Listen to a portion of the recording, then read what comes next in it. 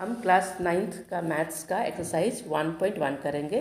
इसका जो पहला क्वेश्चन है, वो है is zero a rational number can you write it in the form of p by p by q form of p by q where p and q are integers and q is not equal to zero तो इसका पहला answer है yes is zero rational is zero rational number इसका जो answer है yes तो हम इसको लिखेंगे yes can you write it in the form of p by q where p and q are not integers हाँ हम इसको पी बाई क्यू के फॉर्म में लिख सकते हैं। Zero by one zero by two zero by three और हम इसको सॉल्व करें ज़ीरो बाई वन इसलिए तो आंसर ज़ीरो ही आएगा। इसी तरह से ये भी ज़ीरो आएगा और ये भी ज़ीरो आएगा। तो हम इसको पी बाई क्यू के फॉर्म में लिख सकते हैं। हम नीचे वाला जो नंबर है, उसको नेगेटिव नंबर भी ले सकते हैं। अब क्वेश्चन नंबर टू की तरफ़ चलते हैं। Find six rational number between three and four यहाँ पर छः रेशनल नंबर आपको निकालना है थ्री और फोर के बीच में। तो जो पहला नंबर थ्री थ्री जो है, इसको हम क्या करेंगे? यहाँ सिक्स निकालना इसलिए हम इसको सेवन से ऊपर और नीचे मल्टीप्लाई कर देंगे। तो नंबर तो चेंज नहीं हो जाएगा, इसका इक्विलेंट नंबर निकल जाएगा। सेवन बाई सेवन ऊपर नीचे सेवन से मल्टीप्लाई कर देंगे। थ्री सेवन जा ट्वेंटी वन हो जाता है। और नीचे कोई नंबर नहीं तो सेवन ही रहेगा। और हम दूसरा नंबर है हमारा फोर बाई फोर है। फोर को हम सेवन से मल्टीप्लाई करेंगे।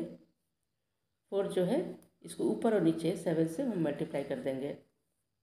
तो हमारा नंबर आ जाता है फोर सेवन ट्वेंटी एट और नीचे का नंबर सेम ही रहेगा। तो अब हम ट्वेंटी वन बाई सेवन और ट्वेंटी एट बाई सेवन के बीच में, बस सिक्स रेशनल नंबर निकाल सकते हैं। ट्वेंटी वन के बाद twenty two twenty two by seven, ये हमारा आंसर है। Twenty three by seven, twenty four by seven, twenty five by seven, twenty six by seven, twenty seven by seven. तो ये हमारा सिक्स नंबर हो गया। थ्री और फोर के बीच में। क्वेश्चन नंबर थ्री है find five rational number between three by five and four by five तो जो पहला पहला नंबर थ्री बाई फाइव है, इसको हम क्या करेंगे? इसको हम फाइव से एक बड़ा नंबर क्या होता है? सिक्स होता है तो ऊपर नीचे हम सिक्स से मल्टीप्लाई कर लेंगे। थ्री सिक्स है एटी और नीचे फाइव सिक्स थर्टी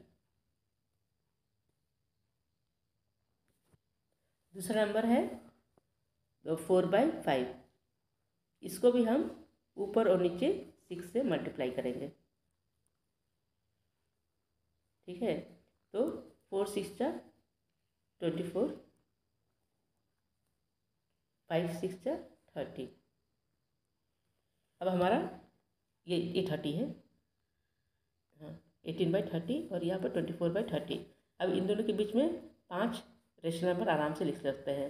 एटीन के बाद नाइनटीन बाई थर्टी, पहला हो गया, twenty by thirty, twenty one by thirty, twenty two by thirty, twenty two है, twenty three twenty three by thirty nineteen by thirty, twenty by thirty, twenty one by thirty, twenty two by thirty, twenty three by thirty, ये हमारा पाँच rational number है। चलते हैं question number four की तरफ़। Question number four है state whether the following statements are true और false give reason for your answer number one statement क्या है? Every natural number is a whole number ये ट्रू है। ये ट्रू है। इसका आंसर क्या होगा? जो इसका रीजन क्या देना है? Whole number is a collection of whole number is a collection of natural number number and 0.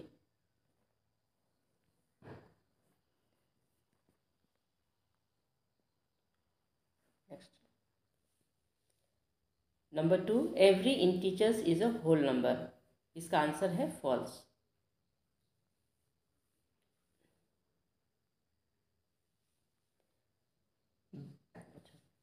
इसका आंसर फॉल्स है क्यों फॉल्स है क्योंकि इंटीचर्स क्या है? इंटीचर इंटीचर इंटीचर्स का डेफिनेशन जो है it is collection of negative number and whole number तो उसको लिख देना है आपको reason integers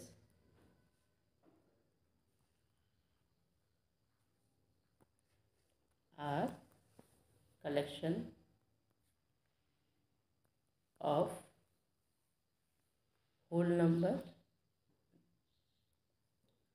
and negative number